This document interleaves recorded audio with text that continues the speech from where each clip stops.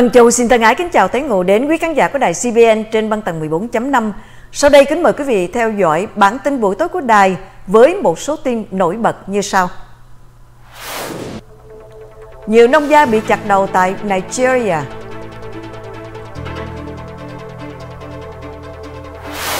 United Airlines bắt đầu các chuyến bay vận chuyển thuốc ngừa Covid.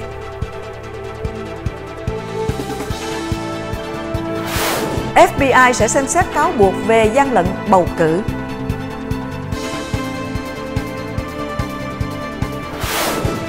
Diễn biến dịch bệnh COVID-19 tại Việt Nam.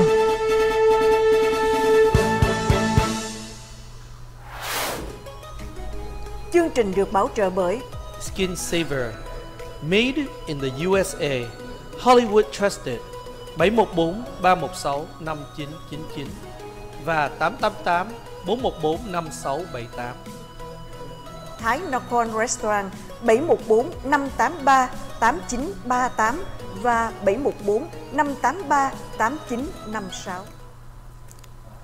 Và sau đây kính mời quý vị theo dõi phần tin chi tiết.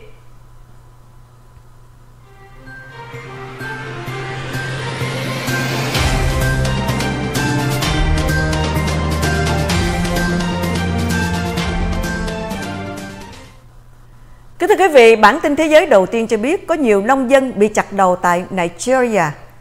Cư dân sinh sống tại tiểu bang Borno của Nigeria vào ngày Chủ nhật vừa qua đã chôn cất 43 người từng bị các phần tử khủng bố sát hại, hầu hết đều bằng phương pháp chặt đầu, trong bối cảnh vẫn còn hạt chục dân làng khác đã bị bắt giam. Vụ tấn công đã được tổ chức Hồi giáo Boko Haram, vốn có liên hệ mật thiết với phe ISIS, tiến hành vào sáng thứ Bảy bên trong ngôi làng Zabamari thuộc vùng Đông Bắc Borno. Được biết, trong vòng một thập niên vừa qua đã có ít nhất 30.000 người đã bị sát hại trong khu vực này. Thống đốc tiểu bang Borno Bagama Zulum, vào cùng ngày đã kêu gọi chính phủ tuyển mộ thêm nhiều binh sĩ để đẩy lùi các phần tử thánh chiến. Dân làng thì phải chọn lựa giữa việc ở nhà hoặc ra đồng kiếm sống, bất chấp nguy cơ bị quân khủng bố tấn công. Biểu tình phản đối lệnh phong tỏa tại Anh Quốc Kính thưa quý vị, lực lượng cảnh sát Anh Quốc vào ngày thứ Bảy 28 tháng 11 đã bắt giữ ít nhất 60 người tham gia cuộc biểu tình chống chính phủ do có nhiều cư dân cảm thấy bất mãn với lệnh phong tỏa đang có hiệu lực ở khắp nơi. Ở cách đó không xa, một nhóm người khác cũng đã tổ chức tuần hành trên đường phố do họ không tin tưởng vào những loại vaccine đang được phát hành, đồng thời cho rằng thuốc chứa nhiều tác dụng phụ gây hại tới sức khỏe về sau này. Luật pháp hiện tại ở Anh không cho phép nhiều người tụ tập ở cùng một chỗ. Lệnh phong tỏa đồng thời sẽ có hiệu lực cho tới ngày 2 tây tháng 12. Tuy nhiên, có thể kéo dài lâu hơn tùy thuộc vào diễn biến của coronavirus. Các địa điểm tập trung người biểu tình bao gồm công viên St. James và khu thương xá West End ở thủ đô London.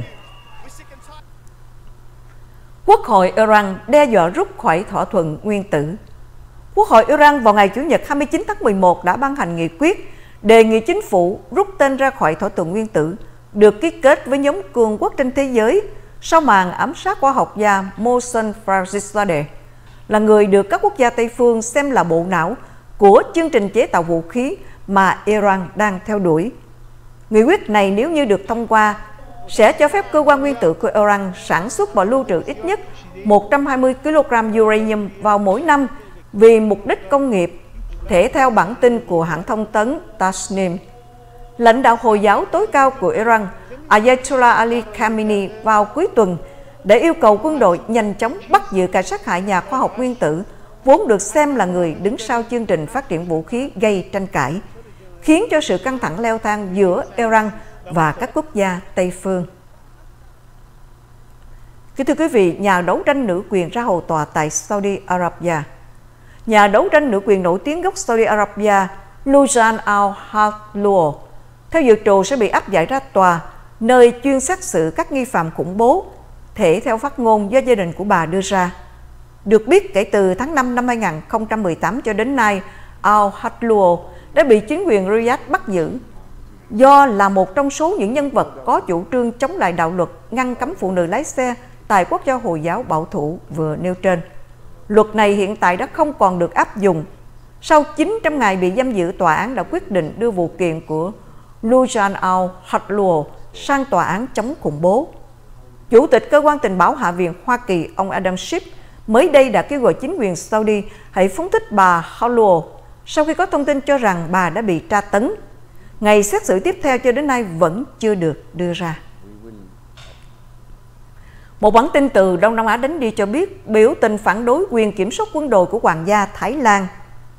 Hàng ngàn cư dân bản xứ vào ngày Chủ nhật 29 tháng 11 đã cùng nhau xuống đường biểu tình về phía một doanh trại tại thủ đô Bangkok để phản đối quyền kiểm soát quân đội của quốc vương Thái Mahavajiralongkorn, người đang vấp phải nhiều chỉ trích bất chấp tội khi quân thường có hình phạt nặng tại quốc gia thuộc vùng Đông Nam Á này. Đám đông tuần hành đã được nhìn thấy dừng chân bên ngoài lối ra vào của đơn vị tác chiến thứ 11 trước sự kháng cự mạnh mẽ của các cảnh sát viên. Tính đến nay vẫn chưa có báo cáo về số người bị thương hay bắt giữ. Phong trào biểu tình chống chính phủ ở Thái Lan đã nổ ra vào tháng 7 để yêu cầu Thủ tướng Prayut Chan-o-cha từ chức. Sau đó, cuộc tuần hành đã lan rộng yêu cầu cắt giảm quyền lực của quốc vương. Nhiều nhà lãnh đạo của cuộc biểu tình đã bị gọi đến đồn cảnh sát để chất vấn Kể từ năm 1932 đã có 13 màn đảo chánh quân sự được ghi nhận tại Thái Lan. Cuộc tranh tài chạy bộ vẫn diễn ra tại New Delhi bất chấp đại dịch Covid-19. Nhiều lực sĩ điền kinh hàng đầu thế giới vào ngày Chủ nhật 29 tháng 11 đã tham gia vào cuộc chạy đua Half Marathon tại thủ đô New Delhi của Ấn Độ, bất chấp việc quốc gia này đang chật vật để đối phó với đại dịch Covid-19. Tình trạng ô nhiễm môi trường tại đây càng khiến cho dịch bệnh trở nên phức tạp.